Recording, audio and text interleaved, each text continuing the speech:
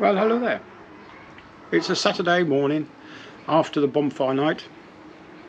Uh, in England, we celebrate the failure of the gunpowder, gunpowder plot, which was uh, set up uh, about a million years ago to uh, to kill the uh, politicians and destroy Parliament. Um, that failed, and a guy by the name of Guy Fawkes was the uh, fall guy and I've just said the word guy three times. Anyway, right. Uh, yep, uh, I don't normally get to uh, to celebrate firework night in England because I'm I'm away at sea most of the time, and this is the first time in many a year that I've actually was actually at home to uh, participate. We had a good display in our little garden. The neighbours had a, a we had lots of neighbours that had lots of lots of displays all around, so that was quite good. And uh, also we set light. We had a, uh, a, bonfire. I have a little fire pit in the garden, so we set light to all the the wood from the pear tree and the apple tree that we cut down during the summer.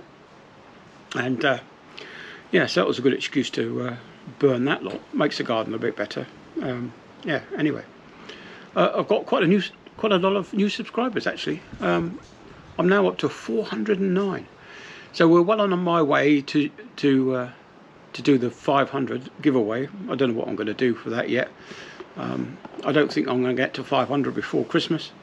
So uh, yeah, we'll see what happens in the new year, and uh, we'll see if we can see if I can find some small gift to give away.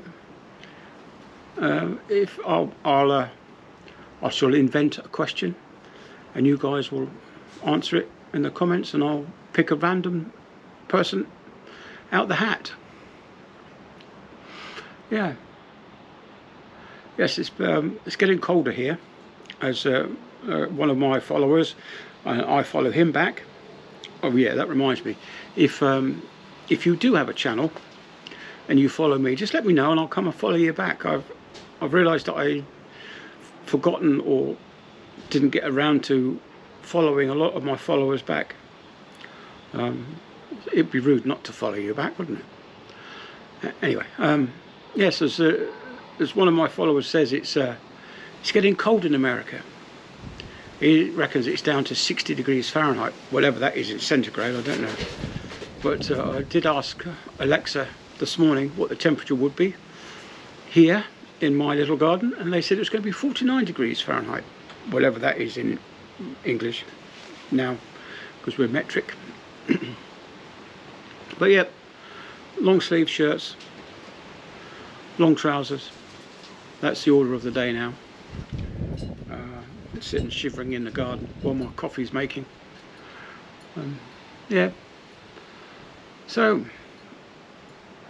6th of November. It's getting chilly. Well, not quite a frost yet in the mornings, but that will come. A few more, another couple of weeks, we'll have a frost and then we'll have Christmas. Yeah.